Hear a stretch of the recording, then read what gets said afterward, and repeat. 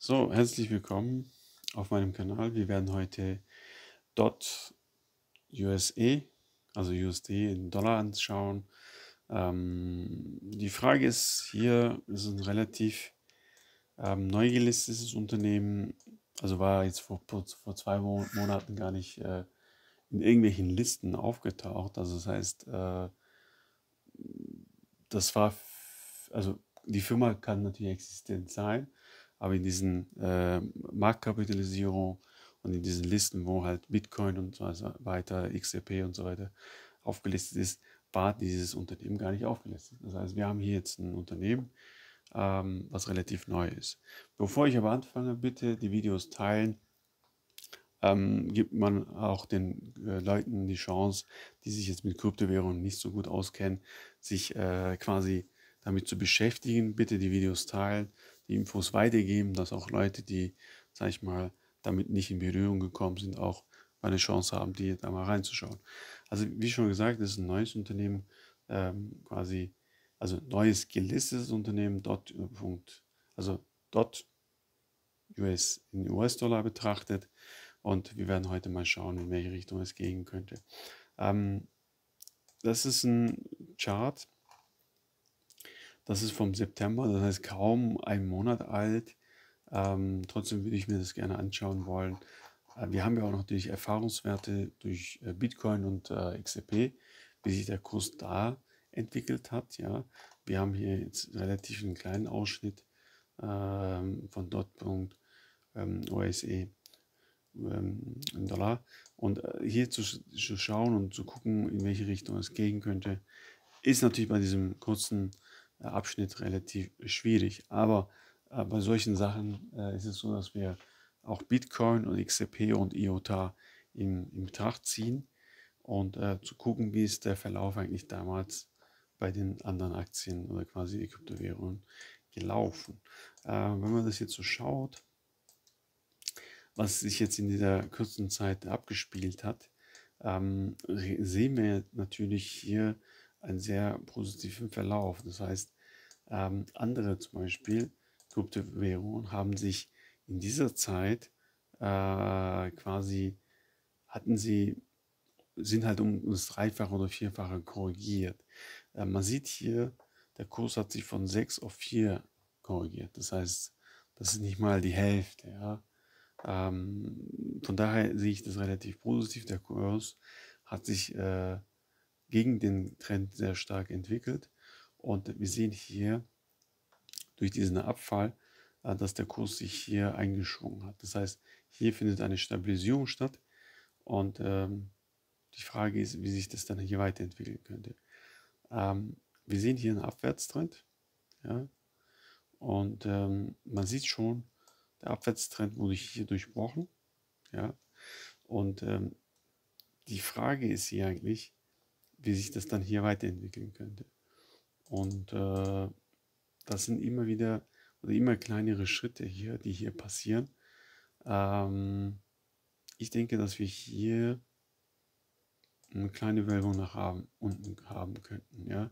Das heißt, wir sehen hier einmal, zweimal, dreimal, viermal. Das heißt, wir haben hier eine relativ starke Unterstützungslinie bei 380, ja, und äh, dementsprechend äh, bin ich sehr, sehr bullisch für äh, dort, weil wir hier eine sehr stabile Bodenbildung haben. Das heißt, man kann es hier abzählen, einmal, zweimal, dreimal, viermal, fünfmal. Also fünf Nägel äh, äh in ein Brett reinzumachen, das sollte halten, ja. Ähm, aber abgesehen jetzt von, von, von sowas, rein charttechnisch sieht es sehr gut aus. Ähm, wir haben hier eine dreifache Bodenbildung und das ist relativ äh, bullish und äh, dementsprechend können wir, sage ich mal, am Anfang, am Anfang des Jahres höhere Kurse sehen. Es kann auch hier sein, dass der Kurs vor Jahresende nochmal eine Steigung leidet, weil ähm, das Ding ist, dass ähm, es kann durchaus vorkommen, dass äh, zum Jahreswechsel auch von der FED neue Impulse kommen, wie das Geld drucken oder je nachdem. Und dementsprechend rechne ich, dass der Kurs relativ äh, in Richtung 8 Dollar steigen könnte. Ja?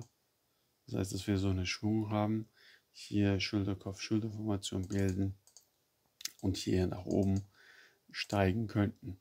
Ähm, davor erwarte ich es relativ wenig, dass es hier nach oben steigt. Es könnte sein, dass der Kurs schon im Vorfeld einer Aktion, zum Beispiel, dass die FED sagt, okay, nach dem USA-Wahl, ähm, dass ein Stimulusprogramm kommt, wo man sagt, okay, im Februar werden jetzt so und so viele Milliarden gedruckt. Ja. Dementsprechend ähm, könnte sein, dass die Kurse schon relativ früher darauf reagieren und steigen. Ja.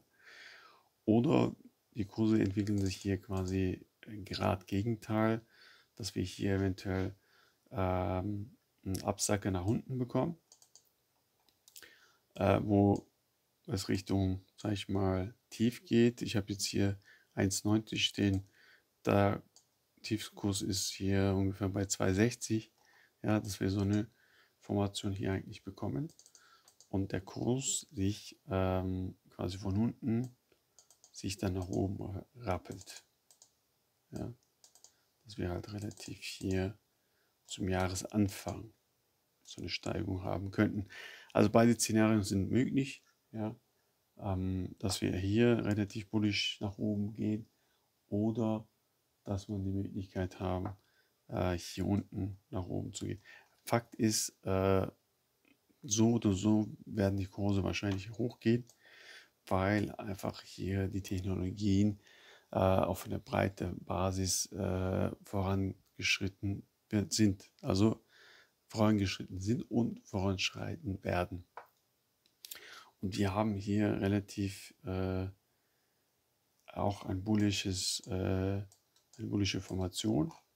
Wenn man so schaut, wenn ich da richtig reinzoome, man sieht auch hier, der Kurs der wird immer bei 3,80 und 3,90 auf, aufgehoben oder quasi aufgefangen.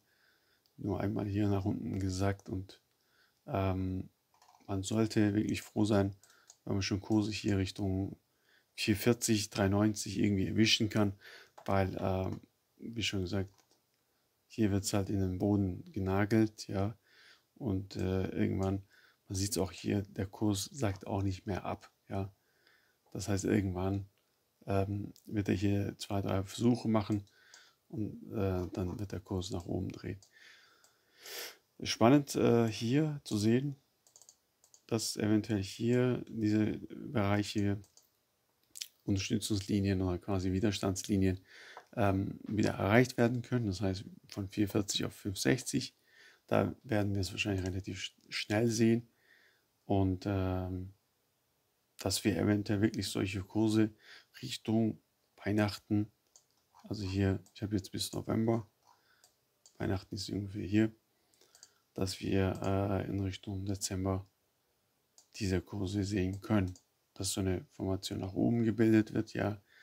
Hier nochmal ein kleiner Rücksetzer Richtung Dezember und dass der Kurs dann eventuell nach oben explodiert. Bei diesem Unternehmen ist es Vorteil, also diese verbindet äh, auf jeden Fall diese zwei Welten zwischen der herkömmlichen ähm, zentralen Netzwerk und dem dezentralen Netzwerk. Dementsprechend ist es relativ interessant. Ja? Und was mich so ein bisschen beeindruckt, ähm, vor zwei Monaten war es gar nicht gelistet. Ja? Das heißt, äh, durch die Marktkapitalisierung, was natürlich äh, bei jedem Kursanstieg ja auch noch mitzieht, äh, sieht man natürlich, dass es auch ein Schwergewicht werden könnte. Ja? Das heißt, es will relativ von 4 Dollar Richtung 18 Dollar gehen. Es kann auch sein, dass es auch, dass das hier auch Bitcoin von der Marktkapitalisierungsseite auch überholen könnte. Ja, also wenn es nur unter, unter den 10, äh, unter den 6 ist, ja, äh, und das beim Kurs bei 4, ähm, braucht man sich eins und eins zusammenzählen.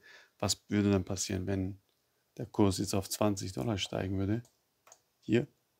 Hm, was für eine Marktkapitalisierung wir dann haben werden. Ja. Da kann es sein, dass der, das Bitcoin auch überholt wird. So, vielen Dank fürs Zuschauen. bis demnächst und äh, weiter fleißig die Videos teilen, so dass der Kanal wachsen kann. Vielen Dank, bis demnächst. Ciao.